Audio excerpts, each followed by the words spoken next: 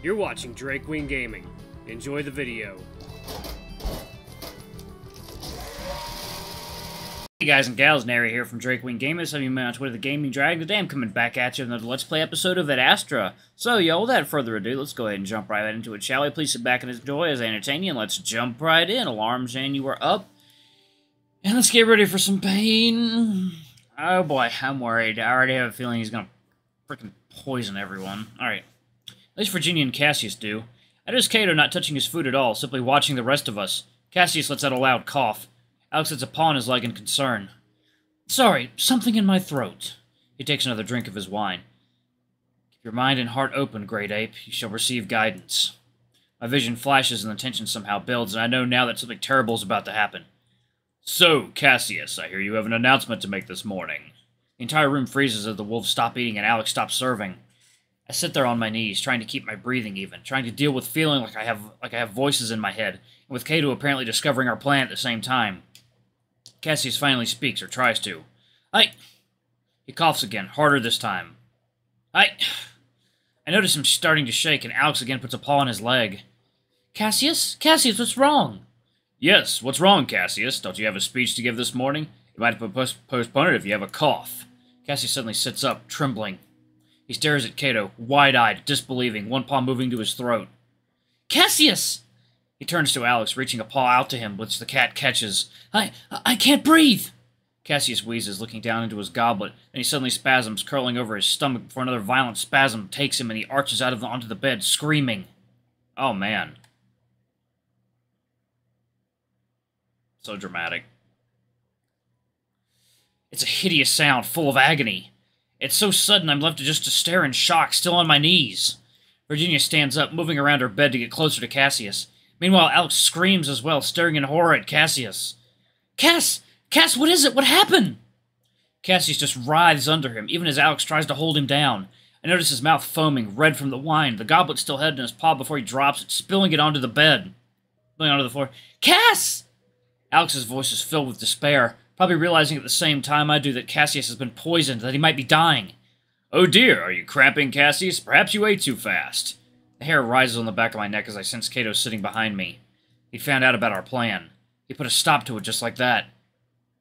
Cato, this is too far! Was it the wine? I almost don't register what Alex just said, but that's when I feel Cato get up behind me. In a few steps, he's standing over Alex and Cassius before he swings a paw hard into Alex's face. It sends the small cat flying so far that he's thrown up against the wall. He crumples there, unmoving. Virginia ducks when this happens, but bravely moves forward, grabbing Cassius and turning him over onto his stomach. For a moment, I think Cato is going to do the same to her, but he seems to get himself under control. Was it the wine, then? Well, who served it? He looks around inquisitively, even while Virginia sticks her fingers into Cassius's mouth, shoving them deep until the screaming wolf lets out a retch. Cato's eyes settle on me. What did you put in this drink, simian?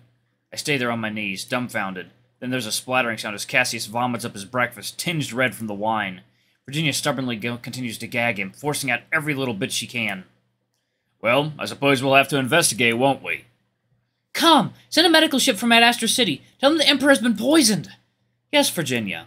Cato looks down at me, then before I can move, he reaches out and grabs up my arm. I felt the power of a wolf before, main one being Amicus, of course, but this is different. It's like he's made of stone. Cato starts pulling me toward the door, and every step feels like my arm is about to be yanked out of its socket. As Cato marches out into the hallway, I grasp at his arm with my other hand, trying to relieve the pressure somehow. The wolf stares straight ahead, ignoring me even as I try to pull away. I can walk! I grip my teeth, my hand already numb. I look left and right, trying to figure out how I might get away. There's no chance for that, though, as I realize we've reached Amicus's room. Suddenly, I find myself on the floor as the wolf throws me violently into the room. I suggest you stay there. You have no means to escape anyway. I'll be back to discuss things with you. Some strange humor in his voice with that last part, and before I can even look back, the door shuts and I hear another sound. A click. Oh, man. Son of a bitch. He poisoned, he poisoned Cassius. I sit in Amicus's room and tunneled stu- in stunned silence for a long, long time.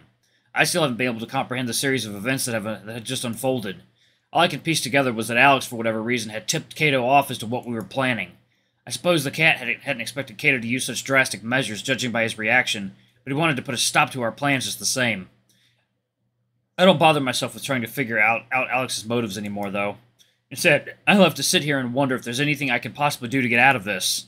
As soon as I find that clicking sound was the, I soon find out that the clicking sound was the door locking. I suppose that means Cato is the acting emperor again, with Cassius either incapacitated or even dead. I ask Kalm about Cassius's health, but he only tells me that information is not available to him. So I wait, sitting on the coach for hours. Couch, coach. Wondering if the next. Yeah, that's not Coach Devon. Wondering if the next time this door slides open, it will be my death. I need Amicus. The thoughts become too much for me, and I have to get up to walk around, trying hard not to hyperventilate. Maybe Neferu will be able to do something. He must have heard about what happened by now, unless Cato did something to him as well. With a deep breath, I push past the curtain and out onto the balcony. It's already late afternoon, that's not what catches my attention. Instead, it's the smoke rising over the city, the sun shining behind it all to give it a strange red glow. I stare, wondering what possibly could have happened in the short time between this morning and now. Calm? Yes, Killian. Why is there smoke over Adastra City? There's a pause. Here's what I found.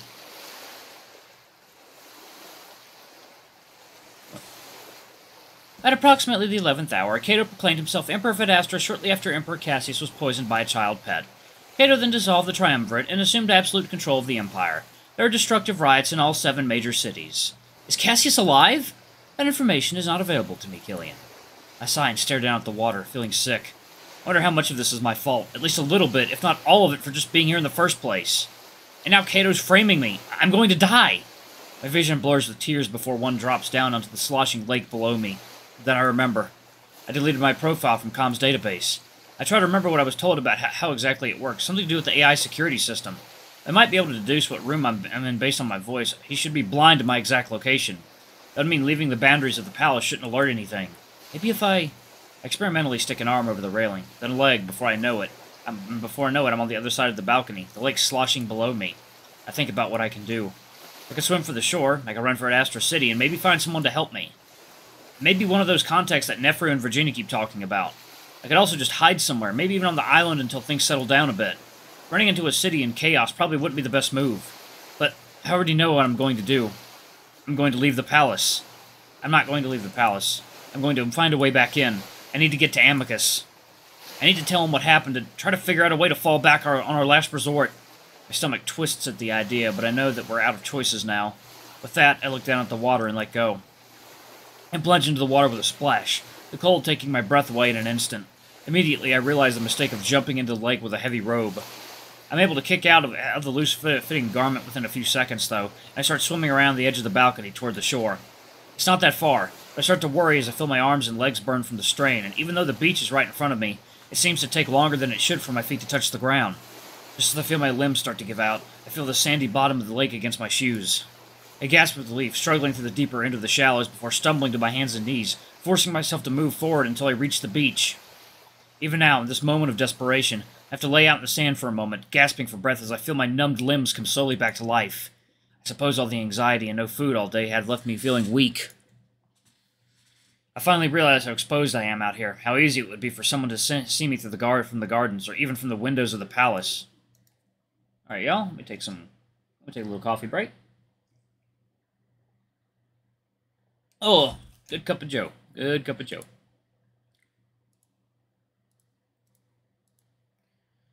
With a grunt, I force myself to roll over and start crawling for the tree line in the garden so I, that I can at least have some cover.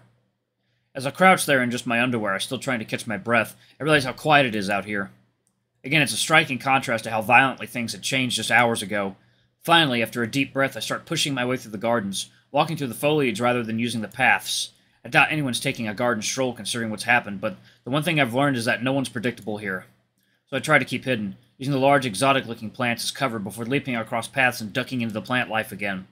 As I get closer to the palace, I try to think about how I'm going to do this. With any luck, no one's actually in the palace. It would make sense after what happened. If anyone is in the palace, I just have to hope they aren't Cato. There's also the problem of actually getting Amicus out of the dungeons. Well, I might be blind to Kalm, Amicus definitely isn't. I guess I need to get to Neferu.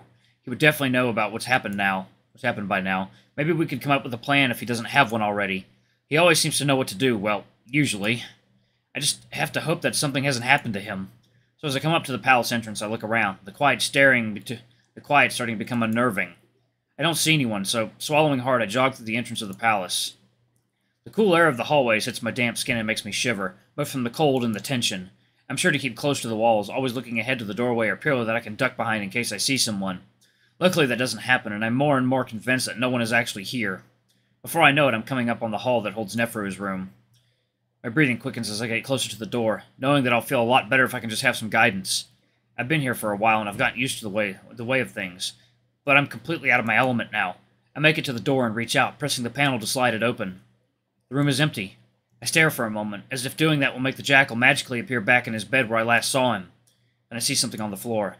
Green charge of shattered glass, wine bottles knocked from the tables to the floor, an ominous feeling starts to blossom in my chest as I note the purplish red stains amongst the glass. Spilled wine dried from how long it's been there. I swallow again to wet my throat, looking to the ceiling, about to call out to Com and ask for Neferu's location before stopping myself. I don't know if actually alerting Com to my location is a good idea. I'm pretty sure the security portion of the AIs is separate from the rest of Com, but I don't want to chance it. I stand there for a moment, unsure of what to do now. I could go around the palace looking for the jackal.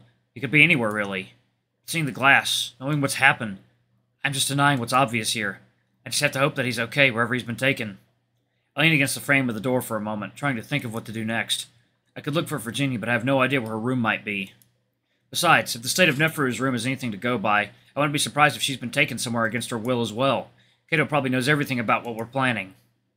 There's really no other choice but to go into the dungeons, tell Amicus about what's happened, and then maybe he'll know what to do.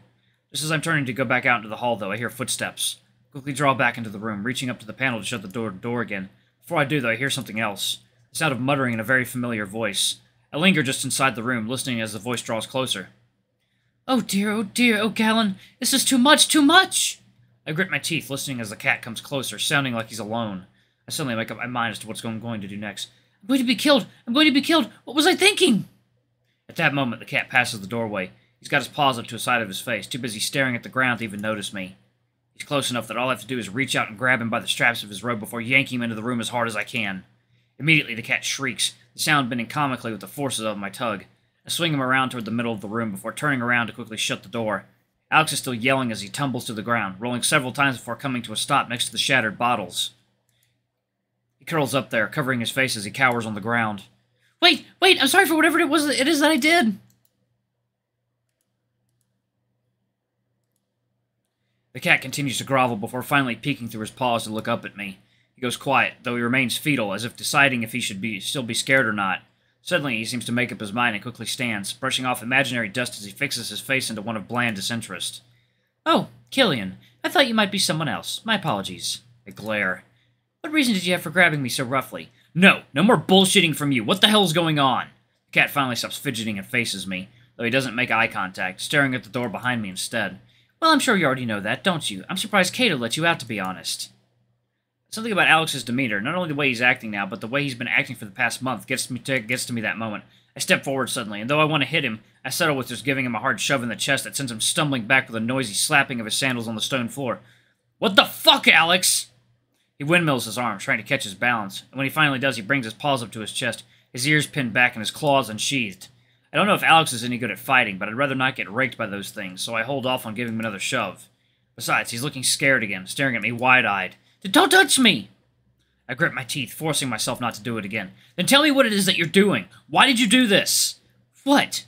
This time I step forward and raise my fist threateningly, and immediately the cat covers his face, cowering. I realize then that Alex probably doesn't have any fighting skills at all, that he might actually be a coward rather than just pretending to be one. This realization cools my desire to really hurt the cat. Instead, I just wait again until Alex lowers his paw, looking at me with fear. I guess that's a good thing. Amicus had told me in the past that the few sapient primates in the Galaxias are really are really only known for a few things. One being that they can't swim, and the other being their incredible strength. I suppose it's a good reputation to have, even if it's not true for humans, but Alex wouldn't know that. I take another threatening step forward. Tell me! All right! I'm surprised by the cat's sudden exclamation, his eyes screwed shut as he raises his paws to his head for tugging at it in distress. I'll tell you whatever it is you want if you just leave me alone. I'm tired of this goddamn palace and psychopathic wolves and half-developed children. I ignore that jab at me, staring at the cat, waiting. I'll probably be deported soon anyway, if not executed. The cat's voice catches in his throat, and he raises a paw to his mouth, seemingly about to cry again. He really is scared, and that gives me an idea. Listen, I'm trying to help Amicus to his rightful place on the throne. Maybe if you help me out and Amicus does become Emperor, I can work something out for you. You know how close the two of us are. I wait as he tries to gather himself, clasping his paws, his claws together before simply looking at the ground. He doesn't say anything, though, so I sigh. Why did you tell Cato about our plan? Alex echoes my sigh, looking away to the off to the side. Hey, there's a lot of Galaxias politics that you wouldn't understand, Killian. Well, simplify it for me then. I might be half developed, but I think I'm starting to get the hang of how things work around here. And if I tell you, you'll help me leave this cursed moon? Grit my teeth. Yes. Alex side eyes me before shaking his head. It was. I became a pet for a single reason. Not for ambassadorial or Adastra Amorpha relations, not even to gather intelligence. I mean, originally that was my purpose, but I became close to Cassius over the course of several official meetings and dinners. My department took notice and altered my assignment. The cat goes quiet again. All right, then what are you here for now? Alex takes a deep breath and looks me in the eye. Chaos. I wait, but that's all the cat says. I frown at him. You're, you're here to create chaos? Alex's voice suddenly becomes monotonous. An unstable government creates an unstable society.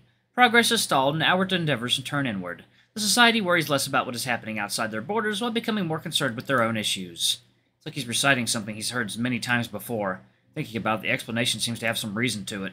Alex's seemingly senseless decisions, shifting alliances, and general odd behavior could be explained by this. He's only here to make things more difficult for the Wolves to integrate back into the Galaxias, prevent them from progressing out of the technological and economic slump they're currently in. He's not just against me, Amicus, Cassius, Irvin, Cato, but rather all of us at once. I think about the billowing smoke over Adastra City. It's probably happening to dozens of cities right now. I suddenly feel an overwhelming feeling of disgust for the cat in front of me. Alright, y'all, I'm going to go ahead and pause it right there. Thank you all so much for watching. Don't forget to like, comment, subscribe, ring that notification bell. Leave a super thanks for tip if you can. It always helps. Until the next video, I love you all. I'll see you next time. Bye-bye!